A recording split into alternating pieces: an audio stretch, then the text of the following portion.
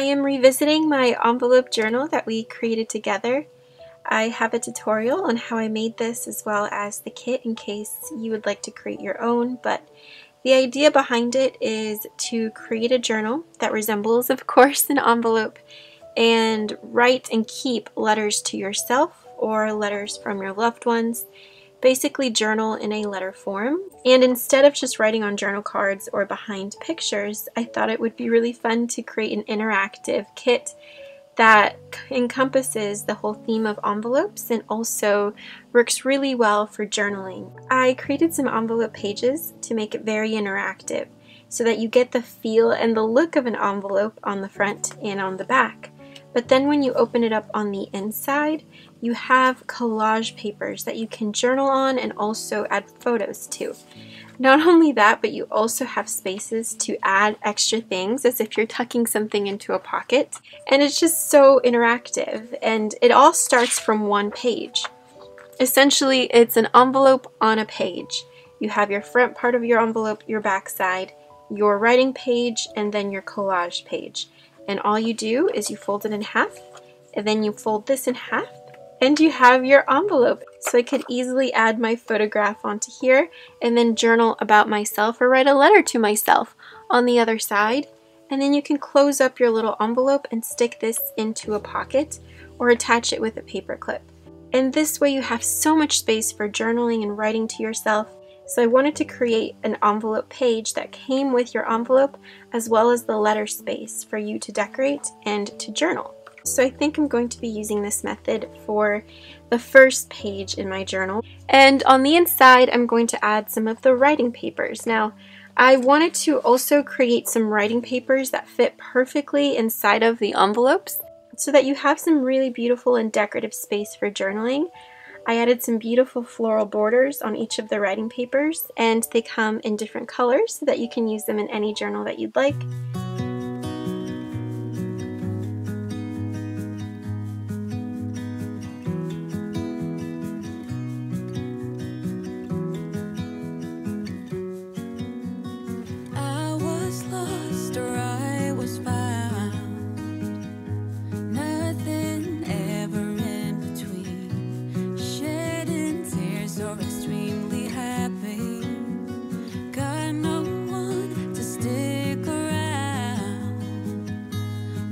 my heart.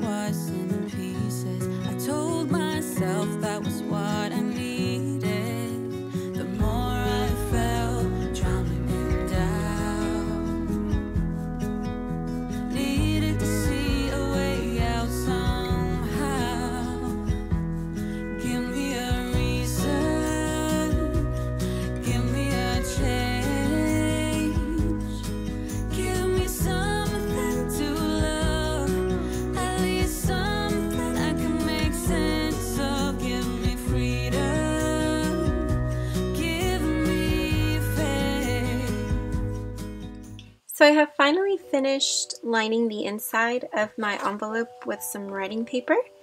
This is one of the floral writing papers that are in my shop as well and I love the decorative border and then how I have so much space for journaling. I love how the blue matches with the blue of this paper in the background so I think I'm going to wrap it up as if it's a real little envelope like in the mail and I'm going to attach it with a paper clip. It feels so nice. It feels like I have a real envelope and a letter in my hand. And it's the perfect size too. So I'm going to decorate my envelope on the inside, just cutting a little bit of my photo so that I don't lose some of the decorative script and design on the inside of my envelope. So just trim it a little bit. Because obviously I know what I look like. I don't need to have the full picture. And then I'm going to do some facts about me, some journaling about myself. I'm going to go through the inside of my envelope and I will journal a little bit more about myself.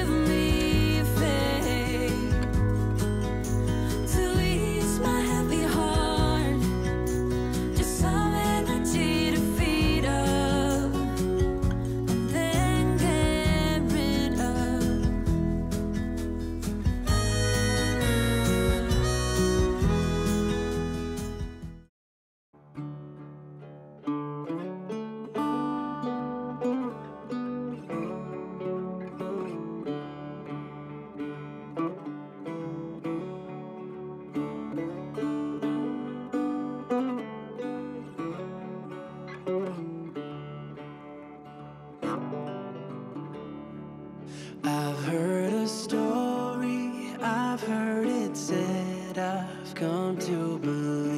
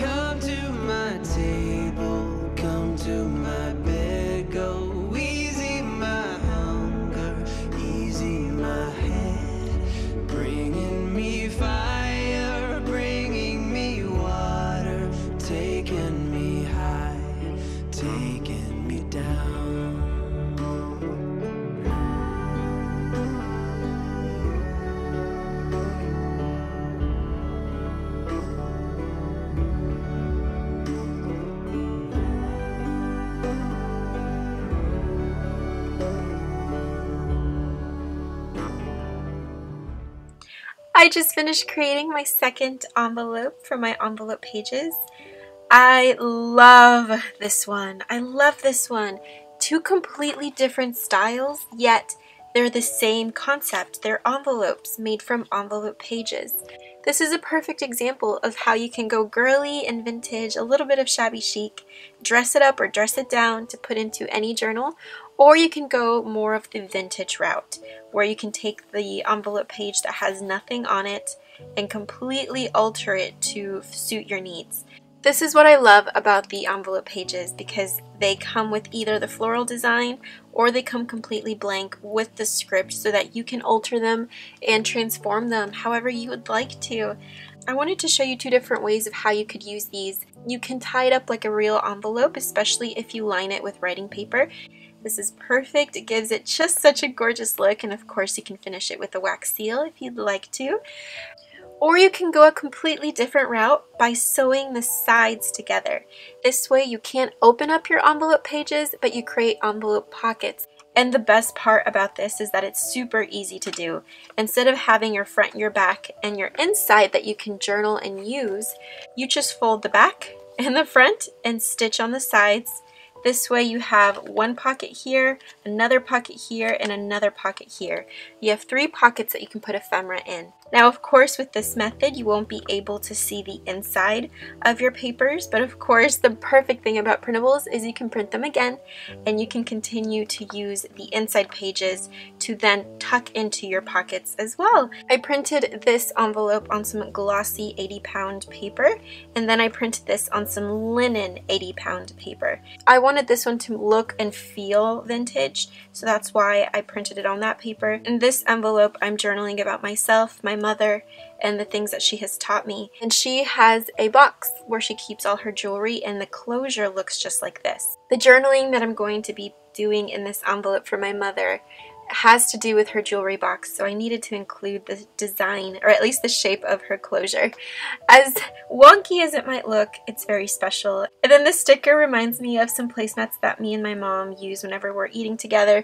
We eat lunch pretty much every other day together and we talk or we watch movies. When I look at the back of my envelope, I think of my mom. And then when I look at the front, I think of myself. And on the inside of the pockets, I can fit so much in here, which is what I love. It's like a never-ending pocket. You can fit so much ephemera in here and journal about so much, and it all stays protected in an envelope made from an envelope page, which is just so cool to me. So here the ephemera that I created, this was a little tag using one of my Polaroid papers. A little snippet of the writing papers. I loved it and I printed it on glossy paper so it's beautiful. And then this is one of my labels that are in my shop as well with some sentiments on it. And this is from some sentiments from magazines. And then on the back, I think I might back it up with some more of that same writing paper that I used to decorate the front and do some journaling. This is just some of my sentiment cards that I love and go with everything, so of course I'm just going to include it in there for more journaling. And this is a little washi sticker, so when I saw it, it instantly reminded me of my siblings, myself, and my mother. And then I backed it up with some antique music paper, or pieces of the music paper on the edges that were ripping. And I combined it together, and then I just stitched it in place so that it wouldn't bend. And this is another sticker that says blessings on you mother and I'm going to journal about my mom and add a picture on the back. And then this is a little journal card that I created using another part of the writing papers, the pink set. I just did some journaling and I used a part of the magazine to inspire the journaling that says they're often the most forgotten parts of the landscape.